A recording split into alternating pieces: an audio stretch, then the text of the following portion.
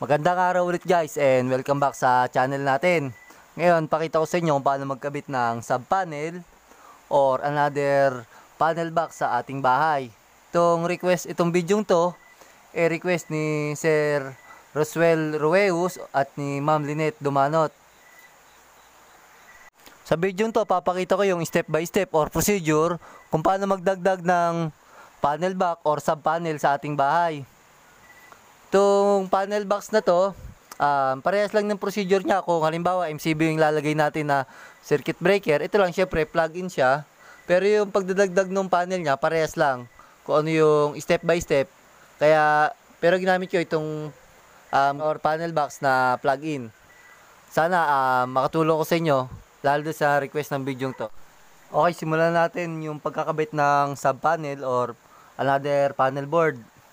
Basta guys, magsis before natin simulan mga gawain sa kuryente sa ating bahay, mas maganda i-off muna natin yung ating circuit breaker para safe tayo sa kung ano mang sakuna na maaaring idulot na kuryente sa ating sarili or katawan.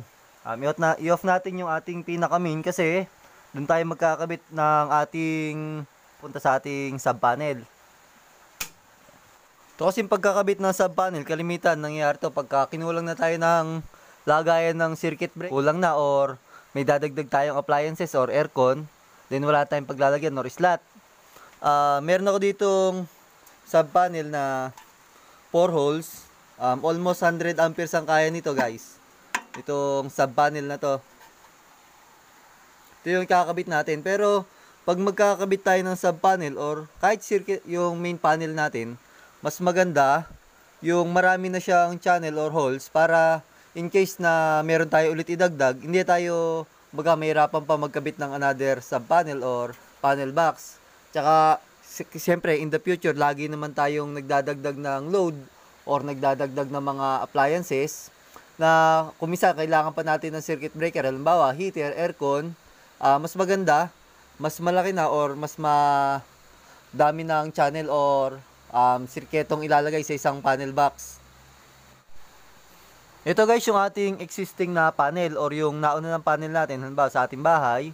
Um, tiyanggal ko lang yung kanyang bahay para makita nyo yung wiring mismo. Di, kasi di tayo magtatap. Ito yung normal na panel natin sa bahay. Kung saan yung sa metro. Then papunta doon sa main. Tapos ito yung mga sub breaker niya. Yung sa ilaw. Tapos yung mga breaker sa outlet. Then meron din siyang ground yung galing doon sa ating meter base or electric meter na nakakonekta din dito sa ating meter base, papunta naman doon sa ating service provider. Ito yun, nakakonect din siya guys doon sa ating main panel. Tapos isang ground, papunta naman doon sa pababa, papunta sa ating ground rod. Importante yon kasi doon niya itatapon yung mga power surge. Kaya importante na meron din tayong ground.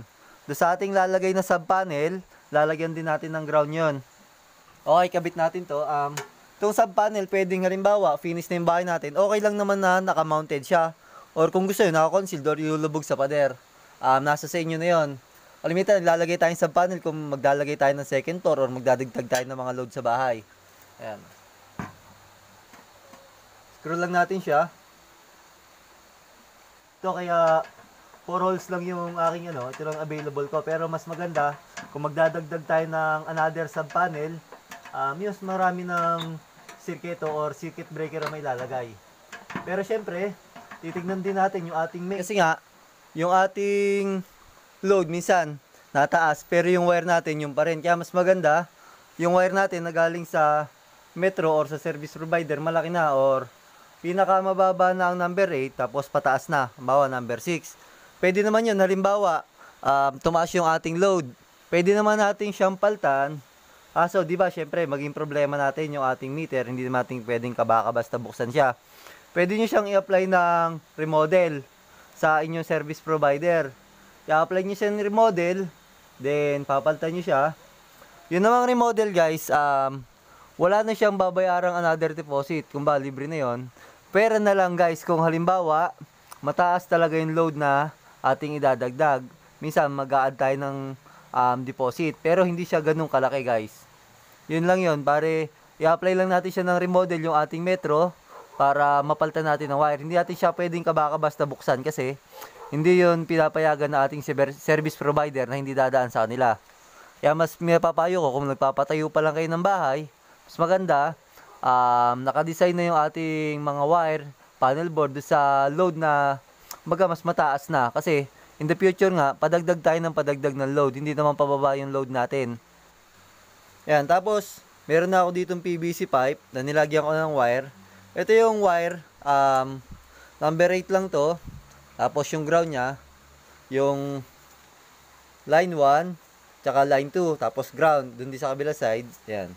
Line 1, line 2, um, siya yung kukuha ng supply dito sa ating main panel, papunta doon sa ating sub panel. Yan. Tapos, maglalagay tayo ng circuit breaker dito. Yan. Ngayon, kung sa inyo naman, halimbawa, puno na yung inyong circuit breaker dito, pwede nyo naman siyang tanggalin yung load nun. Tapos, ikabit nyo yung, ikakabit nyo yung circuit breaker. Kasi, halimbawa, ang main nyo dito ay 60 amperes. Dapat, ang ikakabit nyo rin doon, na papunta sa ating sub panel, 60 amperes na rin. Para, isa lang yung connection niya. Tapos, yung mag, matatanggal nating load, pwede nyo naman ikuha do sa another um, sub panel natin. Halimbawa, itong ilaw, um, siya yung nakakabit dito. Yun yung existing na circuit breaker natin. Um, tatanggalin natin yun, kakabit natin yung circuit breaker na papunta doon sa ating sub panel. Then yung ilaw, or kung ano man yung nandun, yung outlet, pwede doon natin ikukuha sa dar, um, idadagdag nating sub panel. Doon natin kakabit yung ating breaker. Okay yun, pwede naman yun. Okay, kabit natin yung PVC natin na mayroong wire. Tatlo lang siya. Nasabi ko yung line 1, line 2, tsaka yung ground. Ayan. Importante, pagka kakabit natin itong PVC pipe di sa sub-panel natin, lalo ganito naka-mounted, natin ng PVC adapter para um, nakafix siya doon sa um, sub-panel or panel box. Ayan. Then, um, ito maigsi lang, pero pagka yung sa actual, maganda, i-offset yung inyong PVC para lumapat siya sa pader. Tapos doon sa panel box natin, maganda rin ang lapat niya. Lagyan natin siya ng clamp para hindi siya nagalaw.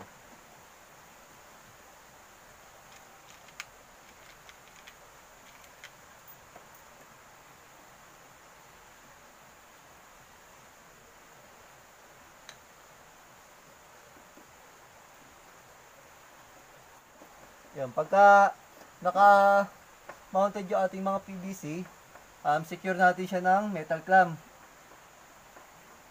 Para hindi siya nagalaw. Yan.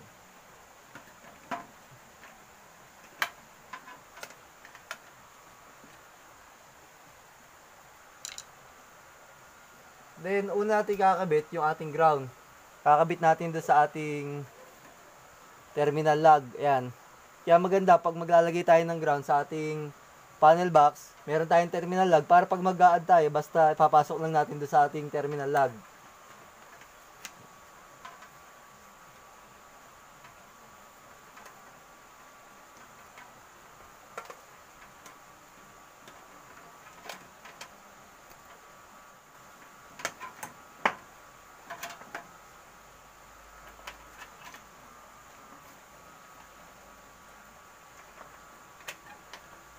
Magkakabit sa terminal lug natin, luluwagan natin yung screw na to. Then papasok lang natin do sa katabi ng mga wire. Pag may terminal lug din kasi guys, hindi siya kabaka basta matatanggal.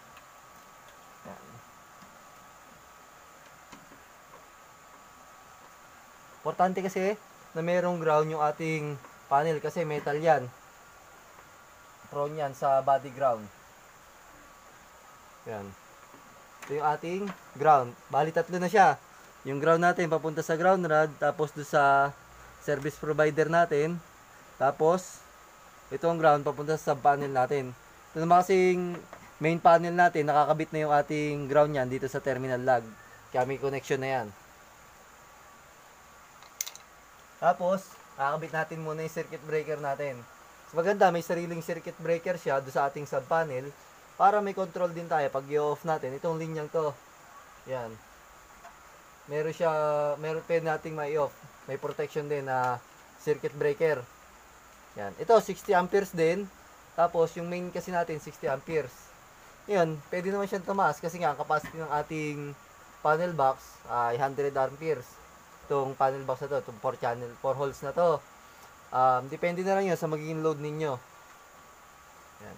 Kabit muna natin itong ating circuit breaker. Plug in lang siya, kaya basta ginagano lang. Di gaya ng bolt on, may screw dito, tapos may screw din dito. Yan. Strip ko lang yung ating wire. Ingatan nyo na magasgasan yung ating wire. Yan. Pagka mag strip kayo ng ganun. Then, make sure nyo na naka-off din to. Para, kasi hindi pa naman okay yung ating ah, mga linya din sa isang sub-panel. Basta before tayo mag-energize, secure muna natin lahat. Yan. Ito lang natin. Then yung isa naman,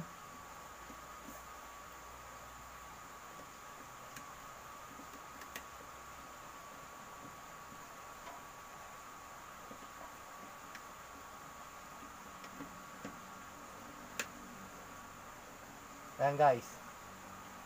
Ito na yung wire natin. Papunta dito sa sub panel natin.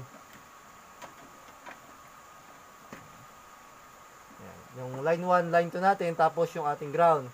Then, pag, pag kakabit nyo nito, maganda, iayos nyo rin yung wire nya. Pag nasa loob ng gantong panel box na. Ayan, ito na yung ating wire. Galing doon sa kilang circuit breaker or sa ating main panel kakabit muna natin yung ating ground dito sa ating panel. Dito, pagkakabit nito, gagamit din tayo ng terminal lag para maimi siya.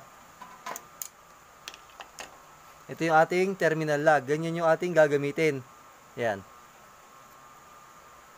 Screw lang natin siya dito sa loob. Then, hihigpitan natin to guys.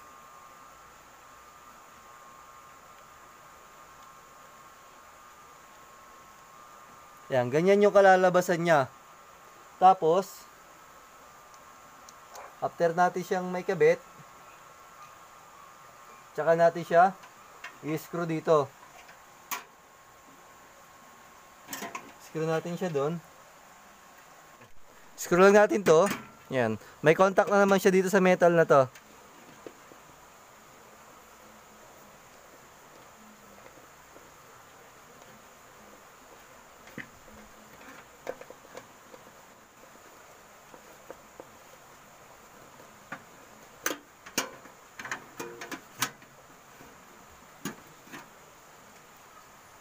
Yan. Okay na yung ating ground. Yung ating namang kakabit na main breaker nitong sub panel na to ang lalagay natin. Ngayon, ang lalagay din natin dito, 60 amperes din kasi 60 amperes ito, um, tapos 60 amperes to. Okay, maglalagay dito ng 100 amperes tapos dito 60 amperes kasi um, dito nakalagay mataas 100 amperes. Nagka problema dito sa side na to, hindi magti-trip off itong breaker na to, may tendency either dito mag-trip off or masunog itong linyan to. Kaya so ganda, mas mataas ito or equal lang sila. Um, pagka ganong equal lang ng amperes, ang tendency nun, ang mangyari nun, pwedeng ito ang mag-trip or ito, kung alin man yung pinaka-sensitive na breaker sa kanya. Okay, um, kabit natin yung ating another 60 amperes dito. Plug in din to. Ito naman kabit nating panel box, eh, plug in din. Yan. Make sure nyo guys na naka-off ulit ito kasi pag nagkakabit tayo ng breaker at naka-on yan, may, meron na itong power. Basta uh, kinabit natin to at nakakabit na itong wire na to. Kaya lagi nyo naka-off ang ating circuit breaker para lagi naman tayong safe.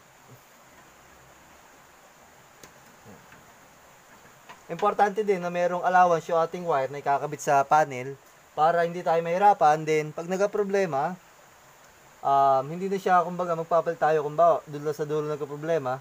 Bilis din tayo mag-ayos pag magre-repair.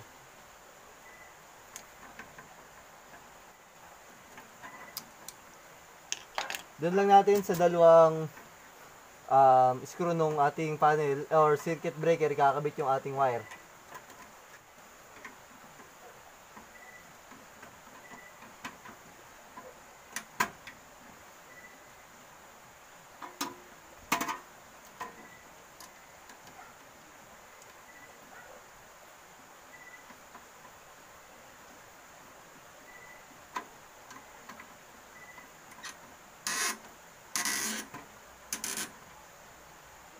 Yan, okay na yung ating ah, main ng sub panel. Pwede na tayong maglagay ng mga additional sub breaker dito sa ating sub panel na ito. Um, kung halimbawa, aircon, um, sa heater, or sa second floor man, kung maglalagay tayo ng another sub panel, pwede rin yon.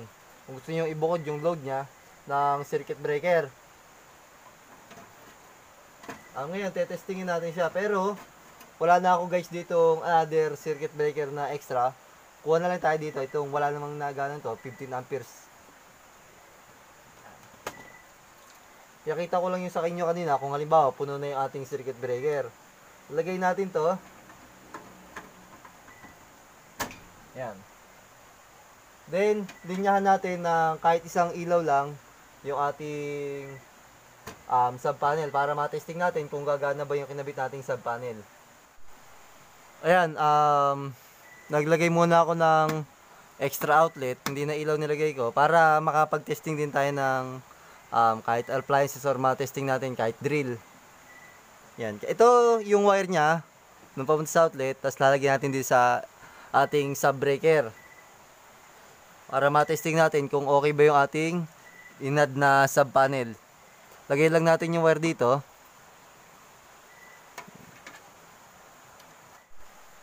Yan, um, nakakabit na yung ating connection nitong outlet dito sa another circuit breaker natin.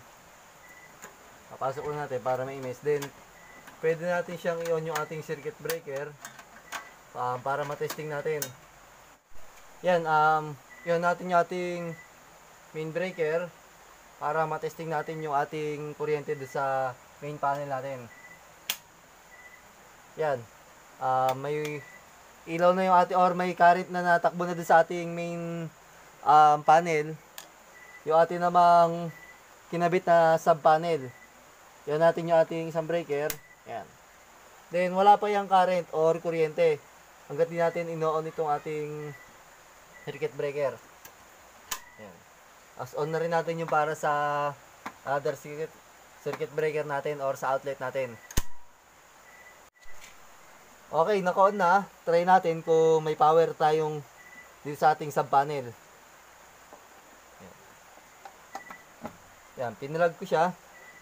Tayo ko mata. Yan. Okay siya guys.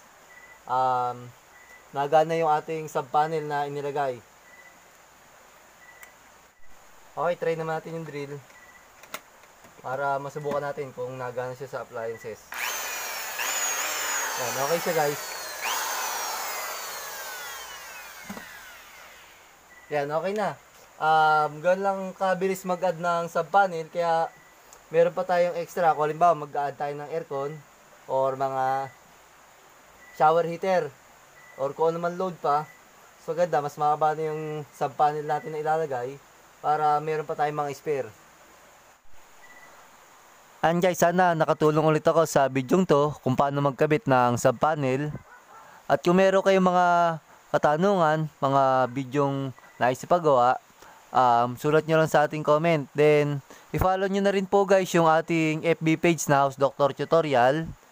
At subscribe nyo na rin po yung channel natin at click nyo na rin po yung notification bell para lagi kayong updated sa mga bidyong ina-upload natin.